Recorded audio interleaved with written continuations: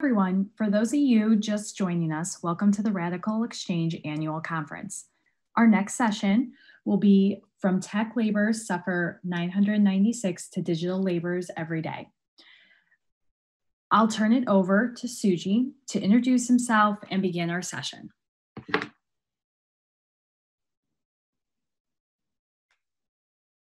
Hello. Hey, uh, can you hear me? So uh, very glad to have a chance to speak to have speech here for the RadicalxChange uh, annual conference. And uh, small correction, it's not 996, it's called 996. And I'm gonna explain what is 996 and why is tech labor 996 related to uh, digital labor and data as labor concept.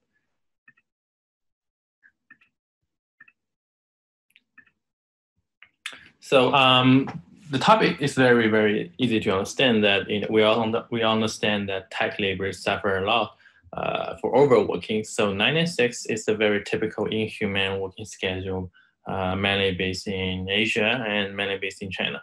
So 996 refer to 9 a.m. to 9 p.m. and work six uh, days a week. So we call it 996, or you can pro pronounce it in other way. And digital labor, we we always refer to those uh, who spend a lot of times online and give out all these uh, data freely to those large platforms like Facebook, uh, Twitter, WeChat. And uh, it's a widely discussed concept, uh, including uh, the, the last chapter of Radical Market, the data labor.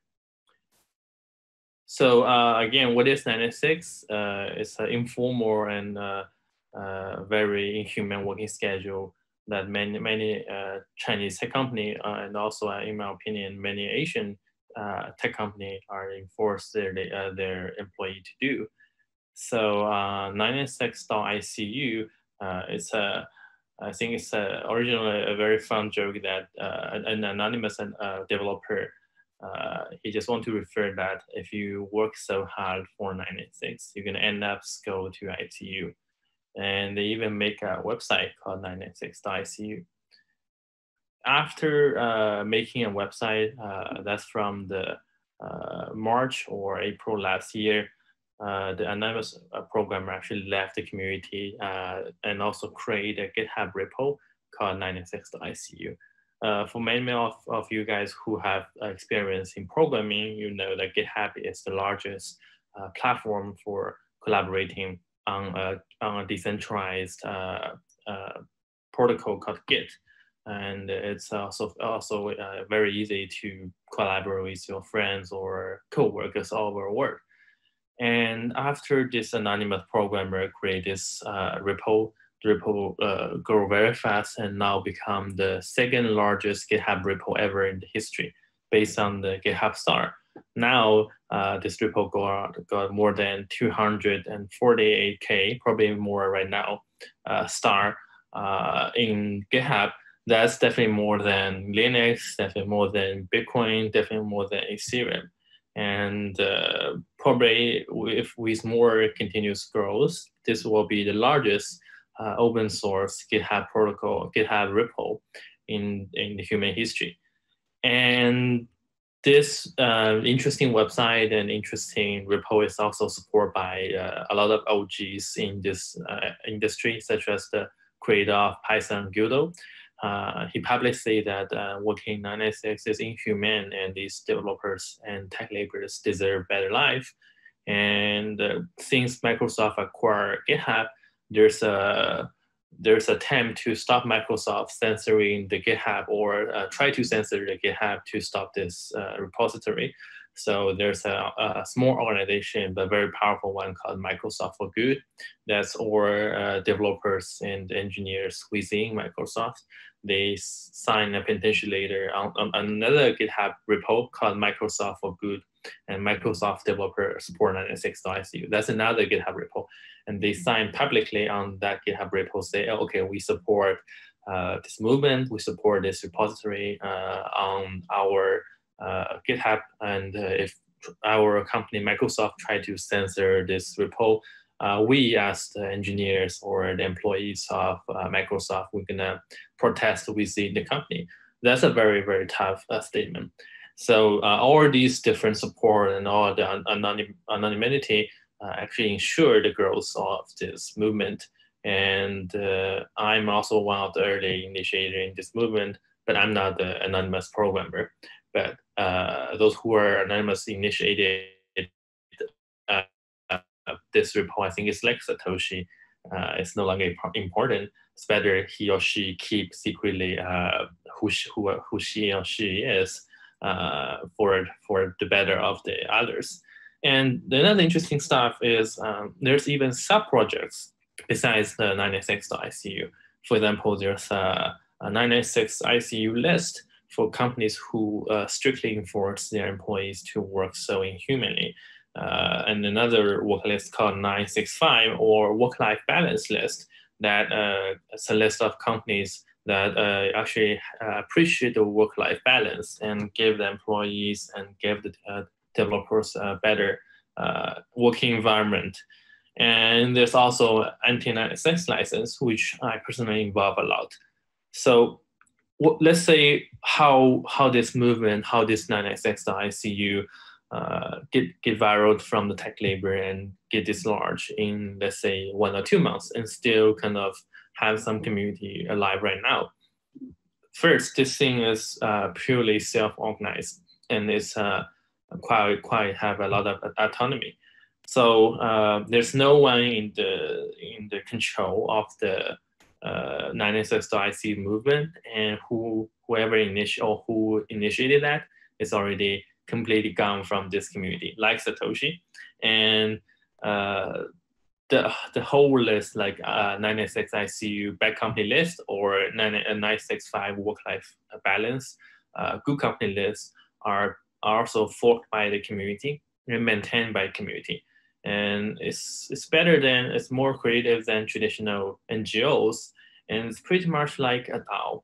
A DAO, I'm referring to decentralized autonomous organization that's like the uh, we we talk a lot in that in blockchain. Uh, Vitalik also talk a lot about DAOs in blockchain. So it's like that, even though it's not blockchain. For example, one uh, here, one case is uh, all these programmers, uh, they want to put the name of another huge company, ByteDance, uh, the control company of TikTok. I put them on the uh, bad company list who enforce the employee to do an SXICU and uh, uh, the employees uh, or the other people from ByteDance actually say this is not correct, this is not real, we are a good company, so please remove us from this list. And they, they have a pull request. A pull request means they want to delete or alter some part of this code or some part of this document. A very interesting thing happened even without a centralized, uh, let's say, founder or centralized uh, creator. Uh, the attendees of this movement, they uh, suddenly turn into voting mode. Everyone start to vote, use the GitHub original functionalities emoji, voting by emoji. They start to vote and to decide whether this statement that uh, ByteDance do respect uh, uh, workers' life work-life balance is true or not true because there's a lot of people who are in the journalism industry who also work for ByteDance before. And after, let's say, one, one hour, there, that here is the example of there we have like 278 used the, you know, this is not true emoji and 28 used the unhappy emoji. And obviously, by you know, simple voting, uh, people agree or the community agree this is not true. So uh, they, will, they will not delete the name of ByteDance from the uh, company list. This is very interesting and very powerful when I first see it. So um, let's say uh, what we, what I, uh, what we can participate, how we can participate in the movement. So there's another attempt to do a license called NT96 license.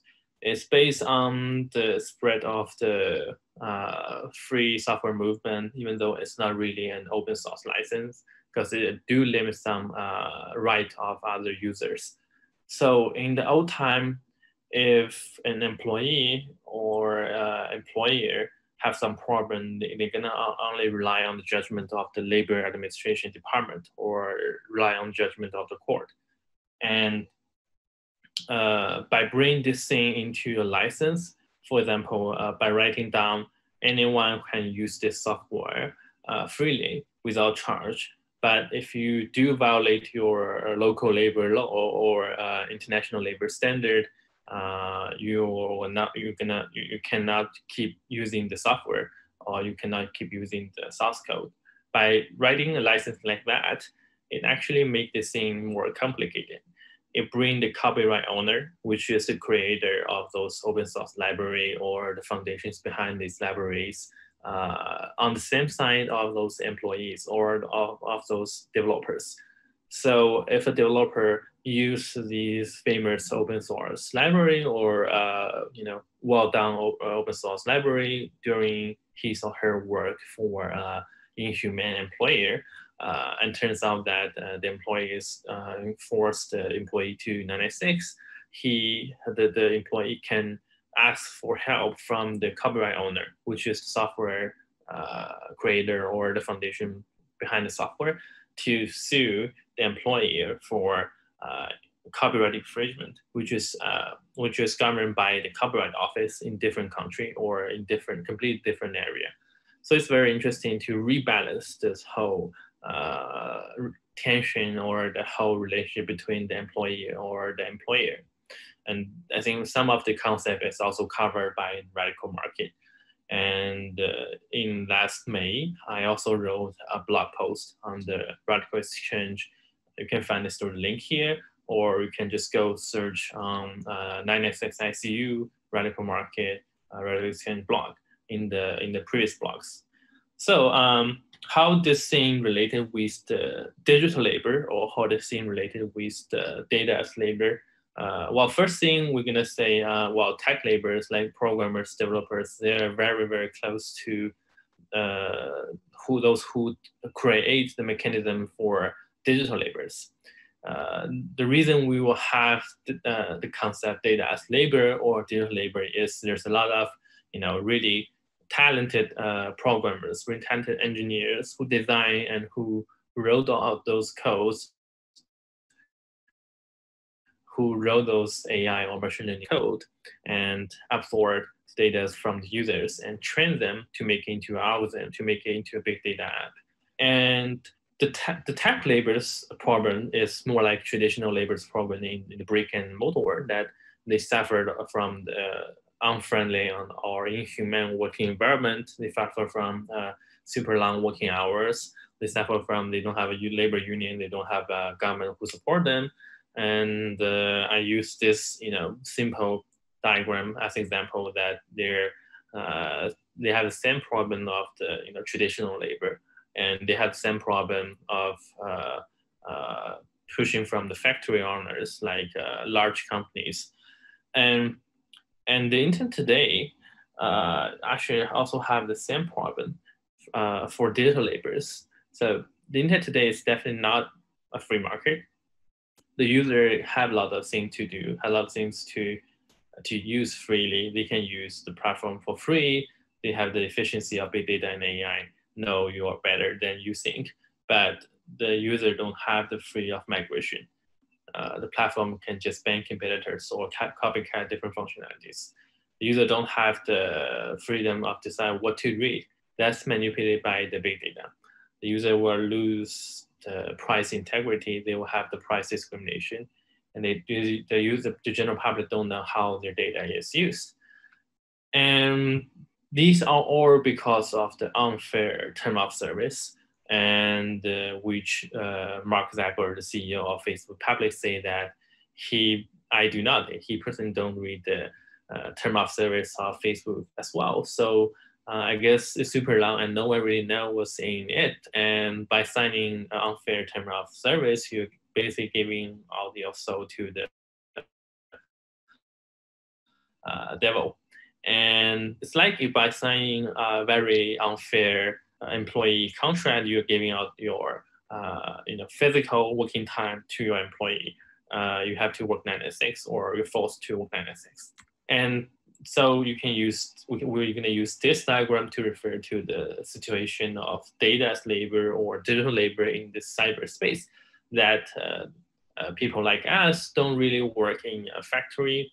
Uh, we we use our laptop, our mobile phone to work, but all our working fruit, all our data are stored somewhere in a very remote and protected server, probably maybe in a different country. And the, free market is not really free. It's actually mon monopolized by several companies like Facebook, Google, uh, and it's gonna it's like a free market but you have to obey the uh, several rules. Like you can only buy data off your social media. You can only post uh, advertisement of certain social media in a certain uh, platform. And if i'm satoshi by looking of this diagram i probably will find out the vulnerable part of this ecosystem of this you know current workflow is the money is the fiat money and uh, by looking through the tech labor and the problem of uh, their labor every day, uh, well, the, the, the initial thought of many people is, okay, this sucks. And I don't really like Facebook. I don't really like all these platforms. Why can't we just build our own platform? Well, why can't we just migrate to the new internet? Uh, why can't we just migrate to blockchain or Web3 or whatever uh, interesting or great, you know, name of a new internet? Well, definitely that's a good, you know, uh, uh, attempt, uh, but it attempt by many, and all of these attempts attempt are failed. for example, Telegram even got so many users. you're gonna see uh, it will never turn itself into a decentralized network. And unfortunately, its TON network plan is also failed due to the regulations.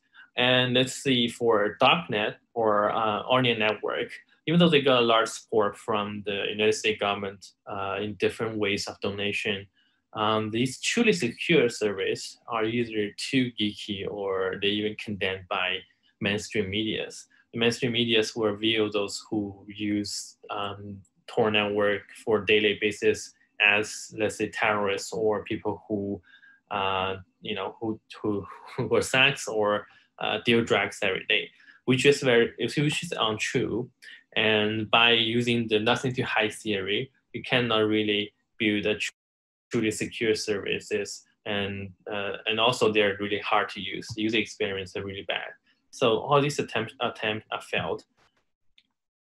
And the real problem is not really build another uh, new internet. It's not really, okay, tell everyone your data is being collected by Facebook, like your data is, your labor is being uh, misused by your employer. Now it's different issue. The real issue is, uh, okay, we know there's a problem with the privacy control and data ownership, but we, we still want to have the efficiency of the Facebook of the of the big data and AI. And can we have both? Can we have both uh, without any uh, any any change in the user experience? And can we do not go somewhere else? Can we just stay on Facebook and Twitter? Can we just uh, have no need for migration. And that's a really tricky problem because I think no one had ever thought of this solution before. Uh, we just stay within Facebook, stay within those monopoly platforms and protect ourselves by, okay, somehow we enter into a parallel dimension and uh, we force those monopolies become a good, good, a good platform. We force them to become better. Is that really doable? And if it's doable, how can we really achieve that? So this is uh, the, main, the main point of today's topic. How can we really achieve that? How can we really, uh, using Microsoft's tool, GitHub, to protest that Microsoft probably has some inhuman working schedule in China as well? That's a really uh, you know tough question, and we uh, we can learn from the radical market. There's some sort of this uh, this part from the last chapter, Data Labor. And uh, early last year, uh, Jennifer, uh, CEO of Radical Market, RadicalxChange, also came to Shanghai, and we have a small meetup in the Shanghai Jiaotong University to discuss this issue with the professors and regulators there. Uh, and uh, happy that Jennifer used our product Maskbook as an example. So how can we really achieve, you know, uh, let's stay in Facebook while simultaneously protest within the Facebook and about our data issue. How can we achieve that? So uh, if we really view those platforms as just another layer of infrastructure and view Facebook just as the factory, uh, why can't we do something within it? Because in the traditional factory, you can definitely uh, form a labor union, you know, within your factory. Uh, you can also you can always you know free free to to talk to other workers, talk to other uh, tech laborers that okay, this is not really good. This is not right. We should do something else. Uh, this is not definitely doable. Uh, but I don't think uh, it's super easy to do in, in, within Facebook because that's not really a physical factory. It's a it's a decentralized. It's somehow you know quite digitalized factory. We learn from the history uh, that this kind of case actually happened before. So back in 90s, uh, we also have an infra, which is the operating system and Microsoft Windows is the dominant operating system since the 90s, and it's definitely a monopoly uh, product. A wide range of software on, runs and only runs on Windows and on, only use Windows APIs. And all these attempts to build another operating system for consumers uh, actually don't really work. Uh, both Linux and uh, Microsoft uh, and Mac OS don't really have a large enough traction to beat up uh, Windows. The only thing work uh, is the the, the navigators, the Netscape navigator. They build a browser within a, uh, the OS. And after introducing JavaScript, which you can develop a program within a website, and you can connect to your website freely without being censored by Microsoft, because that's another layer, that's another open new world uh, it, it, becomes uh, more like an operating system. So browser become more like an operating system so that uh, the uh, traditional operating system become uh, a relatively not interesting business. So that's why uh, Microsoft is so pissed off by the Netscape Navigator. And they even have a large fight in early in early 2000. Then and that Bill Gates retired from the board of Microsoft. That's also that's the reason why it's so important that you can actually replace the OS by becoming a browser in the OS. The same thing also happened for uh, infrastructure like uh, AT&T, which is also a widely recognized monopoly back in early days, that they have the they have the large uh, network effect of your mobile phone number and your contact book and you know or the SMS and all different you know technologies and WhatsApp or any other kind of instant messenger, they're built uh, definitely on top of the messaging and cellular networks. But by using the HTTPS or any standard layer of encryption, the phone carrier have no way that what you're doing over top of the SMS or cellular network. So you can tell your friend that I'm on WhatsApp now or I'm on iMessage now, and all, all of a sudden all your friends will easily transmit to a new layer or go to a new layer because this new layer have no difference uh, than the traditional one and it becomes more open that you can uh, even write a program for WhatsApp that you can never easily write a program for AT&T. So that's also an example of uh, the over top strategy or build a window, build an open window within a closed system. So let's go back to the, the problem of huge you know, digital factory or a uh, huge place for digital uh, labor, Facebook. So why can't we create a huge cooperative or uh, union within the huge factory, the huge data labor factory like Facebook? So uh, here's our example. Uh, we call it Maskbook. That's a bridge connect Web 2 uh, the internet we're using today and Web3 that contains many cool technology like peer-to-peer network or blockchain. And Maskbook is a network just connect the current platforms and the decentralized world. So, okay, how, how can we really learn from the experience of the 96, learn from the experience of the Netscape Navigator v Microsoft and really build something within Facebook? So here's a very simple example, I guess. After viewing this, you can understand what we're doing.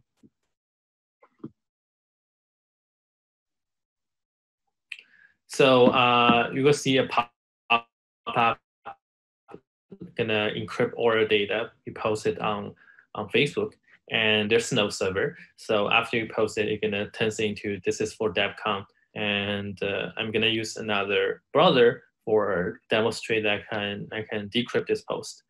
So after I, I install the plugin on another browser, uh, this Mr.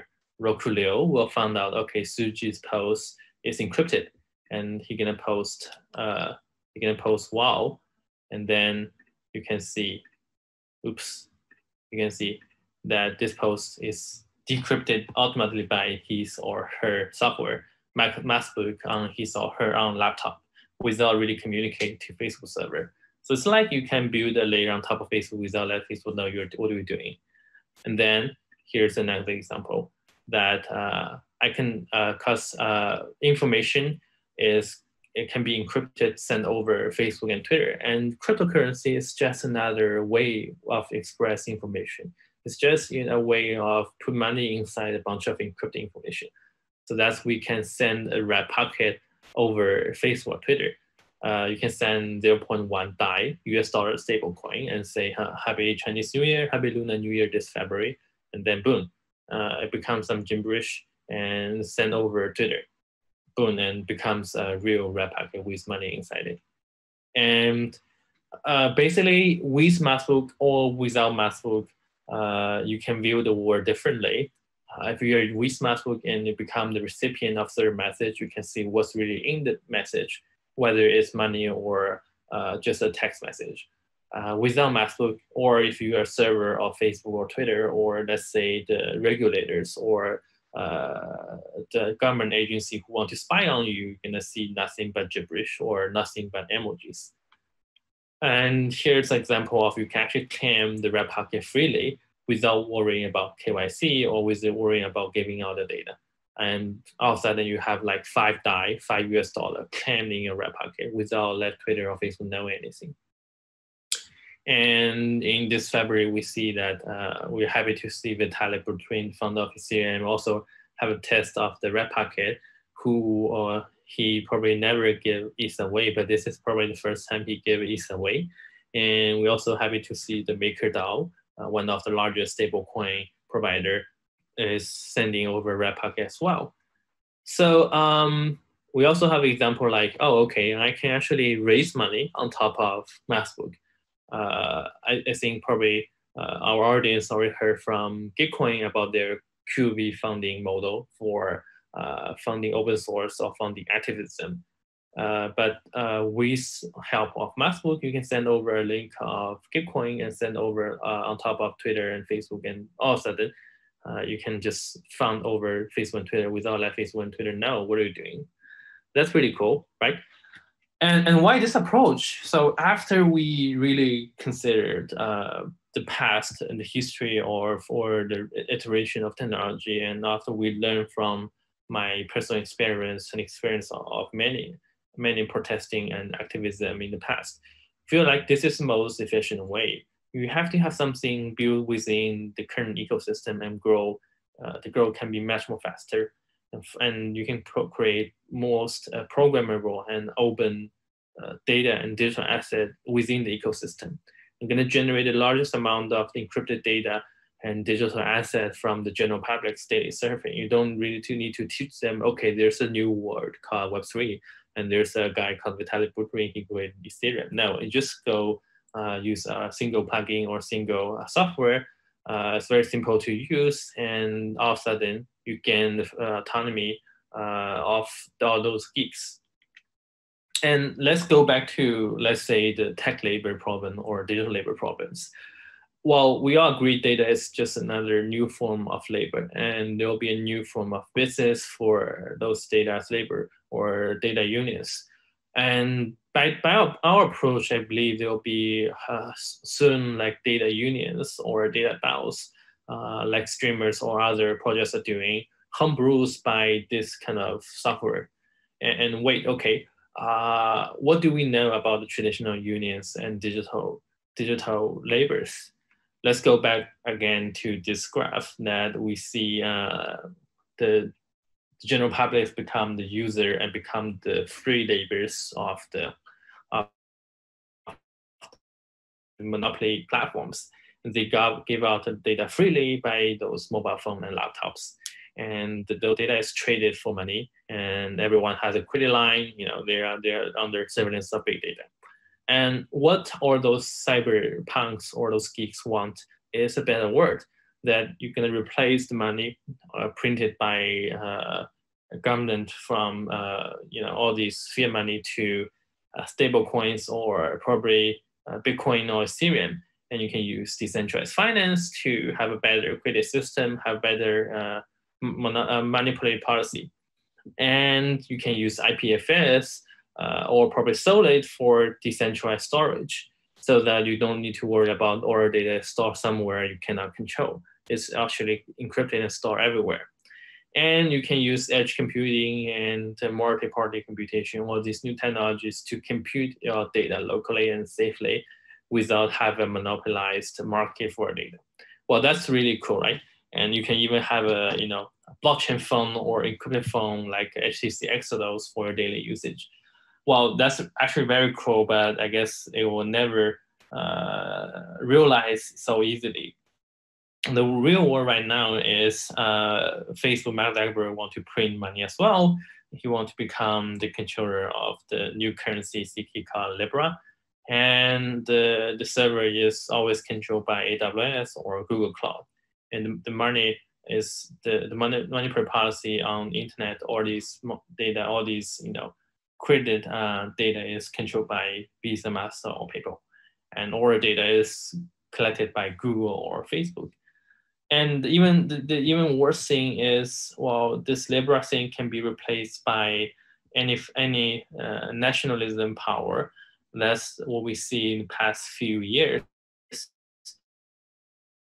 And I guess we will continue to see this kind of threat, this kind of trend in the next four or five years and uh, not only happened in America, it also happened in Asia and European countries. So that's a really bad sign.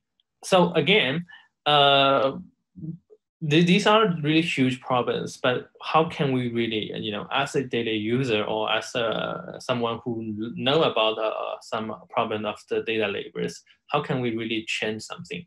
How can we really uh, force Facebook, force Twitter to be a good platform? Or force them to become better platform. Otherwise, they're going to be dying. Well, this is very simple. By encrypt your data, you actually own your data. This is very easy to understand. And if you post the encrypted data within the platform like Facebook and Twitter, you're actually protesting within the platforms. Uh, it's like when you use Microsoft uh, GitHub to protest against 996.ICU, you're actually protesting within the Microsoft, within all those huge companies as well. Uh, and by encrypting your data, you're actually protesting in a much more, uh, much more larger scale that everyone, everyone, everyone on Facebook cannot view your data, except your friends or who are selected to view your data. And if we view Bitcoin and Ethereum as an open open money system or uh, open com- computer who can empower this uh, new technology, this new kind of uh, freedom to everyone on the internet. Uh, Maskbook is ultimately trying to empower this freedom to all those digital laborers, the freedoms we learn from the tech laborers movement, from those who are geeky, who can understand GitHub and who can understand the difference between uh, all this open source software. We want to empower this kind of uh, uh, rights to the general public, to the daily internet users, and you know uh, make something digital laborers can use every day. So what we're doing, or uh, what we're trying to persuade people to to go, is to not really build another social network, which I don't think personally, I don't think it will work. And uh, financially, I don't think you will have enough funding to beat Facebook or Twitter. Uh, don't really build yet another social network. Build a data labor union or cyber union or probably a DAO within the, the platforms. And platforms, uh, the platforms can have a DAOs homebrewed within the platforms. And the DAO is, is the, the place that you can gather the user's opinion. You can let the users vote well, don't really need to be very serious about voting. You can even use emoji to vote, but it will be very efficient and be very easy to use. And we learn from history that in the traditional factory, there's also a physical labor union that gathers the opinions and help the laborers do the protesting and to, to gain their rights. Uh, I guess this time to have a cyber union.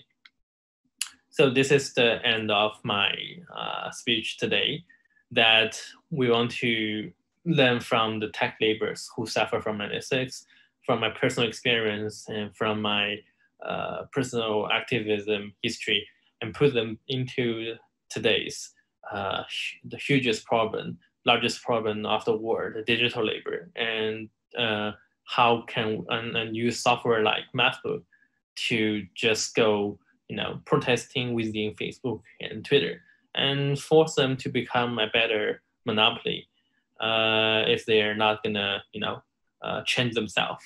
And we're happy to see that uh, CEO of Twitter, Jeff Dorsey, he actually claimed, he actually say last year that they're gonna change themselves. And let's see what's gonna happen. Feel free to join our Telegram or follow me on Twitter or follow me on Mastodon, the Federal Fediverse. And uh, also feel free to ask any questions. Thank you.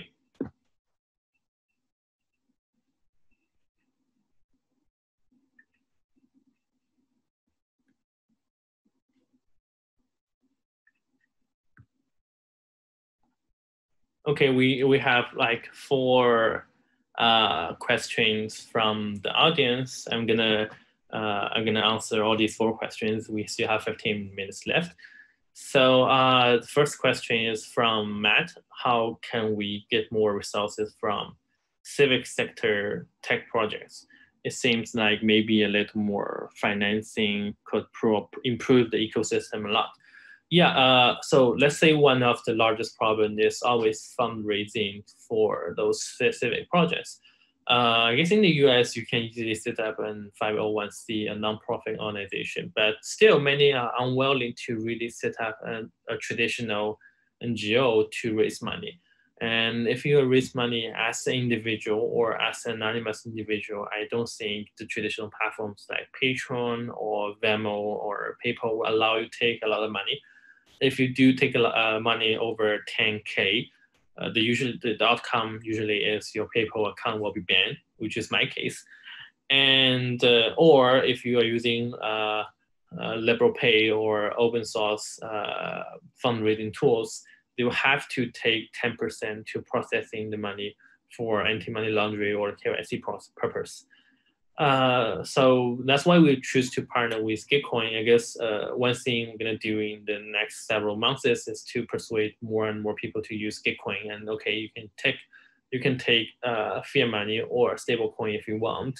There's many uh, problem of uh, regulation we have to uh, fill, we have to fix right now. But I guess in near future, everyone who actually have a civic uh, sector or activism project can easily go on these platforms and you know have a link and uh, go go have someone funding for themselves without worrying about their real identity will be revealed or they will have tax problems or they have problems about you know ML or they have problems about the financial infrastructure. And for now, I don't think there's a place to list all those uh, civic sectors of the projects. Well, unfortunately, because they don't really want to use Patreon or traditional ones. Tradition and GitHub is the only way, uh, only major platform they're using. And from anonymous person, how do you think Black Lives Matters activists can use Maskbook and like Mandate project to make change? Yeah. So uh, the one thing I noticed is because I used to, uh, I think uh, three four years ago when I was still in the U.S. I used to use my personal PayPal account or personal Venmo account to, to help some activism or help some you know, small uh, NGO group to raise funding. Uh, sometimes they, they just don't have a proper uh, person to manage the account or they don't really want to uh, open a Patreon or they want to prefer use Venmo or the other traditional ones. And ends up if you have like a very hot tweet, like you have a 10,000 retweet for a single incidents, like protesting, whatever, and you post your Venmo or uh, PayPal QR code there, uh, you receive a lot of money, your account will be freeze and your money will be freeze as well. So at least what we want to do is we want to tell the people, well, definitely you can use Facebook and Twitter as a platform to promote your uh, activism or Black, Black Lives Matters uh, activist jobs. And when it comes to raise money and when it comes to need some kind of anonymity, you should go use Facebook without leaving Twitter and Facebook. So it can give you some kind of control over your personal data and the personal, uh, you know, fundraising process. That's a very important thing. And as, I say, we're going to partner with Gitcoin to do so. And uh, from Fanny, uh, a lot of projects don't raise much money with the Gitcoin grants, even with the quarter funding matching. Do you feel this model is sustainable? Uh, will continue? Well, that's also a, a problem I am gonna dis- gonna discuss with Gitcoin as well. Um, for now, most of the funding of QV are from either himself or ConsenSys or you know people like us who appreciate this ideology and who earn some money from the past, from from Ethereum or from other big other uh, cryptocurrency, and there's actually very few uh, open source foundations or traditional NGOs participating in this process because they, they can they still can't understand the onboarding process of donating some stablecoin into this QV process in my opinion, I guess this model will be sustainable in the next few years because there's there's more and more people will get into this domain and they're gonna have a try. And uh, foundations like Mozilla or uh, EFF or even Aclu, they can definitely try to put some grants in. But in longer term, uh, the largest problem is what, how can we get the continuous funding? Uh, and, and traditional NGOs actually don't really solve this problem. Uh, you will see those small NGOs who don't have a lot of famous, you know, uh, people who support them, or they don't have a, a budget, uh, suffering from a very low budget.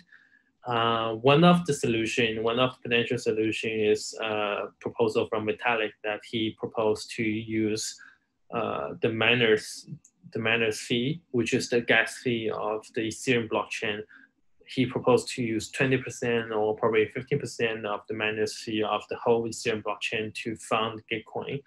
But it's also a very, very uh, early prototype that we have many problems of, uh, you know, how can we deal with the relationship with, of the miners who actually put money in uh, the GPUs or who do POS, who put money in the in their wallet and those who don't really put money, any money in but claiming all these grants. Even though they also build how are we how can we really balance from these people? And how can we really deal with the problem of the boss trying to attack the ecosystem trying to uh, donate on behalf of the same ip and you know try to get more grants? Well that's the problem. The gitcoin grants are facing in the last last round that a lot of people are just using the bots to try to manipulate the, the QV. And on, honestly, I don't have an answer. I guess uh, it will continue in the next one or two year with more and more traditional foundation like Mozilla join the game, but I have no idea of the next three to five years. And from another anonymous person, are you interested also in political legal change or do you think uh, or do you think uh, building tech is the best way to do it? I, I definitely am interested in the uh, political legal change. I'm not a law professional. My wife, Kat, she got JD from uh, the US and she also got a background in the informat- informatic information science. And she's doing a lot of work in the in the politics and legal aspects. But uh, we always feel like if you're trying to work on from the legal or the political part, you have to start from one country to another country. You have to keep going, keep going, and there will be always some country, some, some you know, some area that will have a very very bad example. Like the Patriot Act of the United States is making a bad example for the European countries, or the uh, let's say Australia and let's say the national security law or the new cryptography law of mainland China is making a bad example uh, to Southeast Asia. And sometimes it's uh, on purpose that these governments want to have a bad example, or sometimes they just don't understand that, okay, they think, oh, okay, this is cool, and uh, we will just put this uh, proposal and give this proposal to our Congress, and it seems like they have no idea of the general purpose encryption, or they have no idea of blockchain, and it got passed. And once a law got passed, it will have more, uh, you know, it will be much, much more harder to really withdraw it. So the technology, the interesting part of doing it from a tech perspective is uh, from from even today, I guess the SEC or FinCEN or CFTC or all those regulators in different countries, uh, even in, in Japan, in China, or in Korea, those countries who have strictly regulated security laws, we have no idea how to regulate the Ethereum or to re regulate the Bitcoin, or do we need to regulate that? And it created a vacuum that, uh, like the EFF founders uh, used to wrote the, the, the declaration uh, of the, the declaration of independence of the cyberspace uh, whether we're not pursuing independent of the Maskbook or independent of the Facebook user, I, I, think it's the best way for now to really uh, to really achieve the global audience, to really have all those global audience understand, okay, well, this is quite simple. It's on the Google Play, it's on the Chrome extension store. In five minutes, we're joining the campaign. Uh, we don't really need to worry about the current uh, legal ecosystem uh, in our country. Yeah. And uh, another question from Matt: Are there any big institutions behind besides the EFF Mozilla you think should be contributing to the QF matching pool? Yeah. Uh, well, a lot of uh, institutions, I guess, besides uh, those, you know, tech uh, foundations like, uh, you know, Now Foundation, they have a lot of funding even for the the long bet that you actually bet on something that uh, well this happening next 20 or 200 years and they put money in.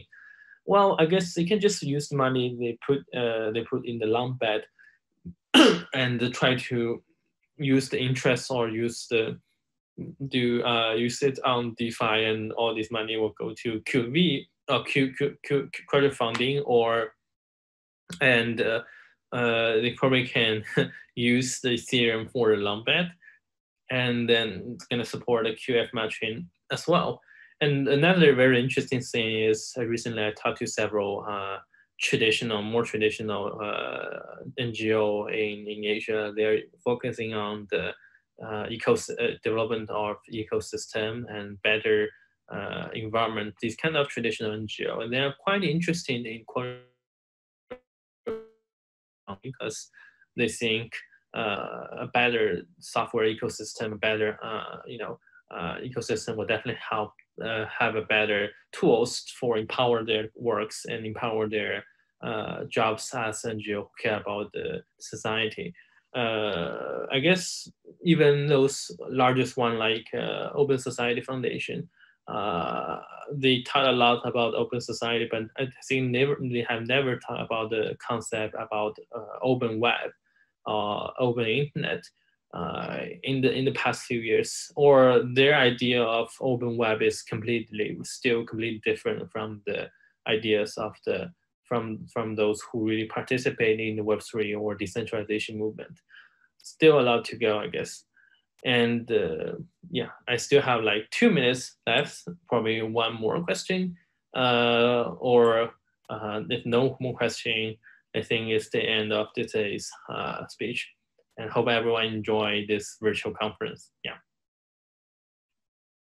And uh, go check my, if you have any more question, you can just go scan this QR code or find me on Twitter and uh, the RadicalxChange official channel, official Twitter account, just retweet uh, about my Twitter handle. So you can just easily find me there as well. Yeah.